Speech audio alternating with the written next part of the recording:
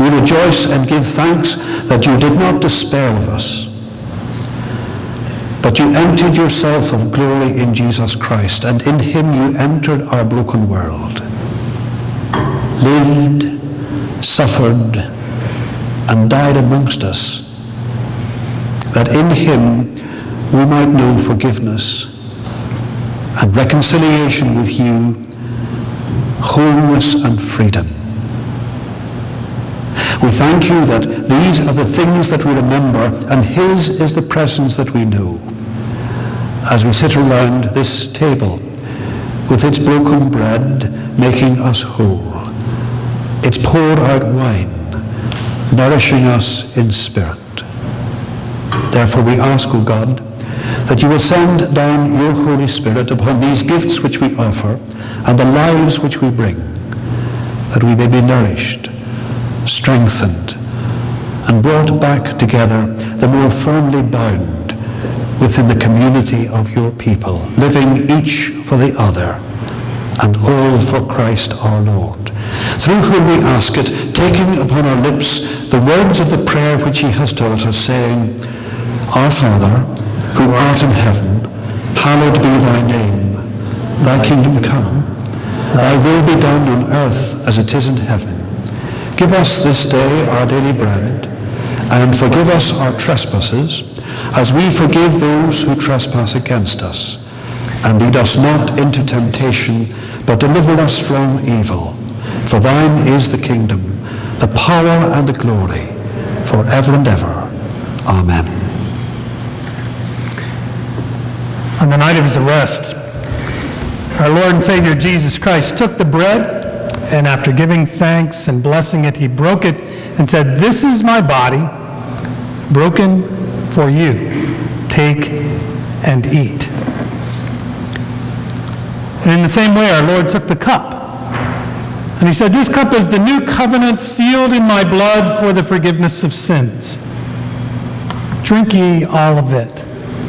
For as often as you eat of this bread and you drink of this cup, you proclaim the Lord's death until he comes again. These are the gifts of God for you, the people of God, and you're invited to come to the table. This evening, we're going to meet you down at the bottom of the stairs, and you're invited to come forward using the center aisle and take a piece of bread and dip it into the cup and receive the body and the blood of Christ through our sacrament.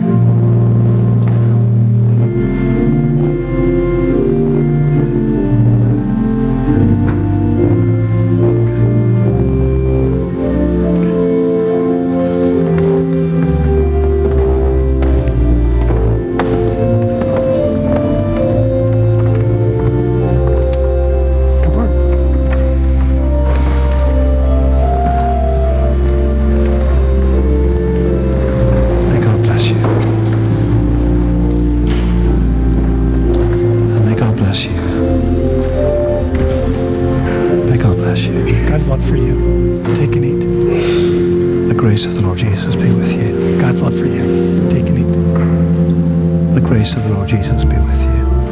The body and the blood of Christ. The grace of the Lord Jesus Christ. May God bless you. Chris, God's love for you. Take it. The blessing of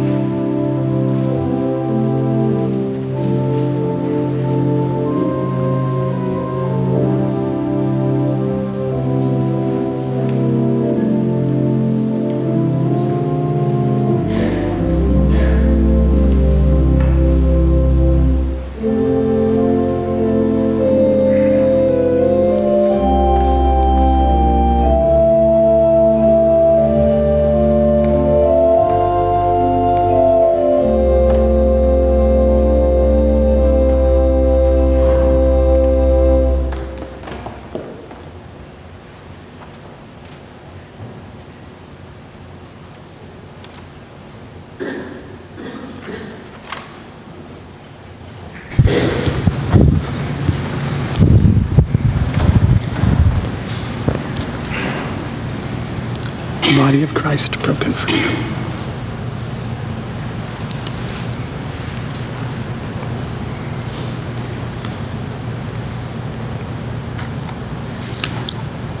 The grace of Christ bless and keep you.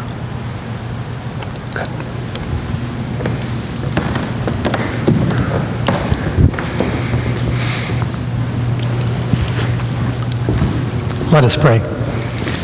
Blessed Lord Jesus, we thank you for this meal, for your love for us, for the gift of grace which we receive from you. We pray that as we receive this gift, that we might receive the ability to see you as the risen Christ in our lives. Bless us. Take us from this place. Allow us to be faithful and allow us to share that good news that comes from you. In the name of your Son, we pray. Amen. I'd like to invite you to stand as we sing uh, the hymn, Bread of the World in Mercy Broken.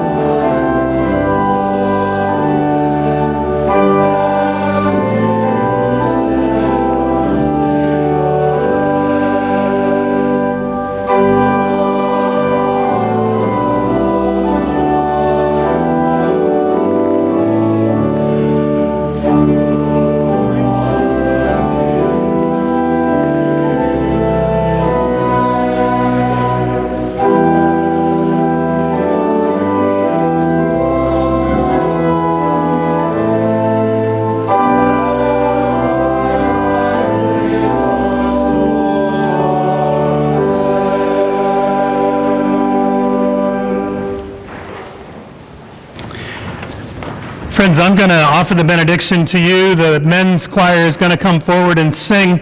And then uh, Kathy is going to play the postlude. And as she does that, if you would like to stay and ask any questions um, of uh, Reverend Orr, uh, you have the opportunity to do that. If you want to just meet him, uh, stick around and do that. We do recognize it's 8 o'clock and a little bit after, and some of you need to run, and we want to, uh, we want to honor that and honor the commitments you have. So, friends, we thank you. And th- Reverend Orr, thank you for being with us.